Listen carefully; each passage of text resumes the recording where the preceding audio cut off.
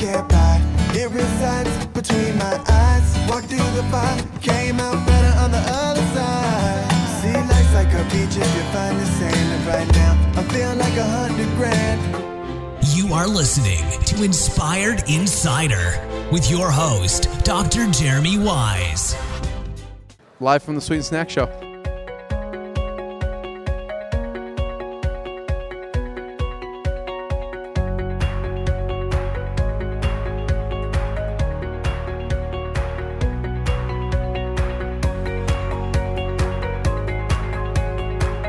We're here live at the Sweet and Snack Show here with Tom Healy. He's founder of No Bake Cookie, hailing from Oregon. So, Tom, what gave you the idea to start this company?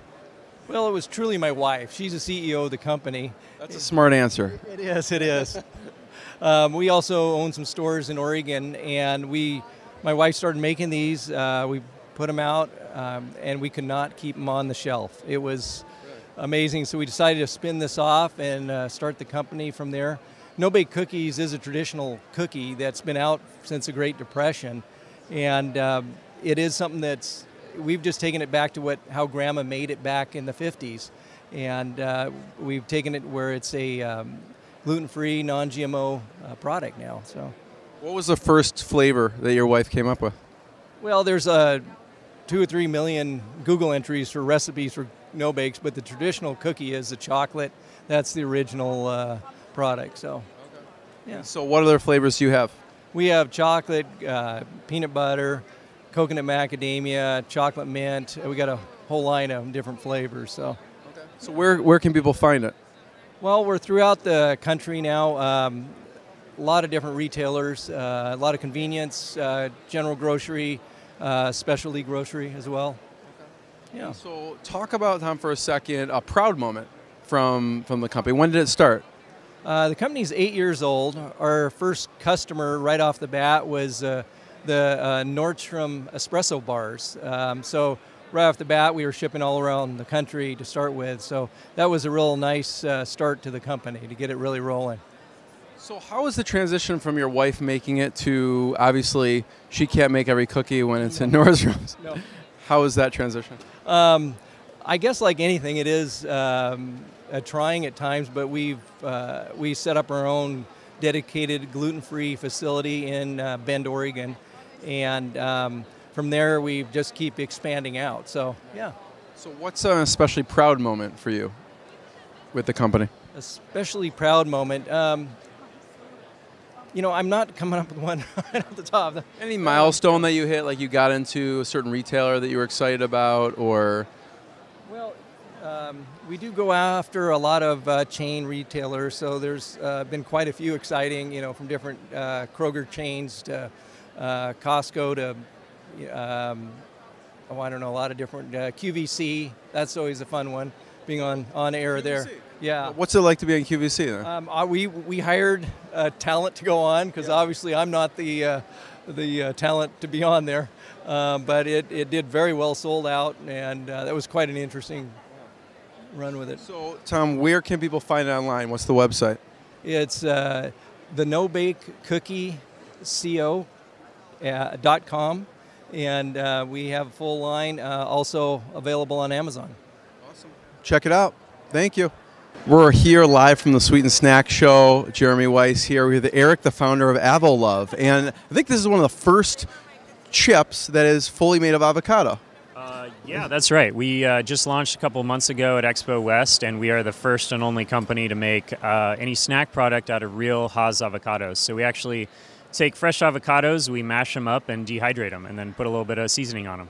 Yum. Yeah. So, how did you get the idea to do this? Uh, just kind of looking at the market. So we also own the No Bake Cookie Company. So we've been uh, coming to these shows for a while and kind of seeing what, what's going on. And uh, the plant-based, better-for-you snacking category is really taking off.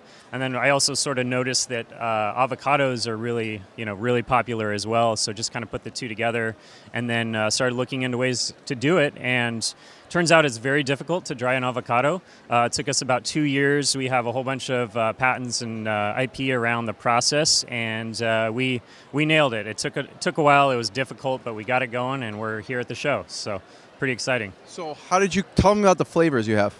Yeah, so uh, our original kind of most, yeah, our most, uh, you know, avocado flavored um, SKU is the pink Himalayan salt. So it's just avocados with a little bit of salt on it. Um, so this one, if, if you really like avocado flavor, um, this this will give you a lot of that. Um, we have, of course, the uh, sriracha. You got to have a sriracha flavor these days. So uh, a little bit of sweet, and then followed by a, a spicy hit.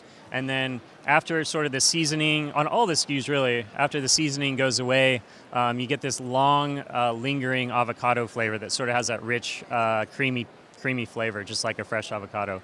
Um, so we also have the zesty nacho, which is my favorite. Uh, it's a vegan Hmm. I cheese, that one. actually. Oh, vegan cheese. Yeah, so everything we do is vegan, uh, gluten free, non GMO, um, zero sugar. So this one was pretty awesome. We developed a, a vegan cheese for it, and then, uh, of course, a chili lime. So it's got a, a good good lime and a little bit of spice to it. So. So where can people get it? So right now, we just launched a couple months ago. Right now, we're only available on Amazon, but we're working on getting out uh, some retailers, um, trying to get our production up and running. And uh, Who should be carrying it? um, well, so coming out of Expo West a couple months ago, we have a long list of retailers. Um, several uh, regions of Whole Foods, uh, lots of lots of big name retailers are waiting for it, but we're just trying to get our uh, production capacity there. So we're uh, actually fulfilling our first order into the Manhattan, New York area um, this month, and so we'll be in a lot of natural stores out there. People should get this before it's off the shelves. I feel like this is going to fly off the shelves. Yeah. Eric, so talk about just one last thing. What's uh, the proudest moment so far from this journey? It's you know people think, oh, you just put this in, a, you mash it up, you make it a chip. It's Yeah. a it's a long, tough process. What's been the proudest moment? So we've had a lot of setbacks in the beginning. You know, we tried uh, dehydration, uh, kind of conventional dehydration, freeze drying. All of that uh, produced a very, very terrible, terrible product. You can imagine if you heat an avocado with air for 20 hours, it doesn't uh, do very well. So um, we had a lot of uh, technical challenges in the beginning, but um, after you know a couple years, we we basically figured out this process and nailed the product. So once we sort of um, nailed the product. We went to Expo, and that was sort of the first time we've really shown it to the public, and the, the response was amazing. It was it was better than we ever expected. So so that was that was a pretty great moment for us. Awesome. So where can people find it online? What's the site? uh, avocadochips.com. Very good. Yep. Awesome. Go to avocadochips.com. Live from pro, uh, live from Sweet and Snack.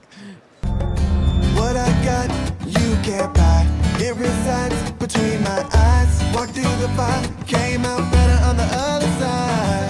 See, life's like a beach if you find the sand. And right now, I feel like a hundred grand.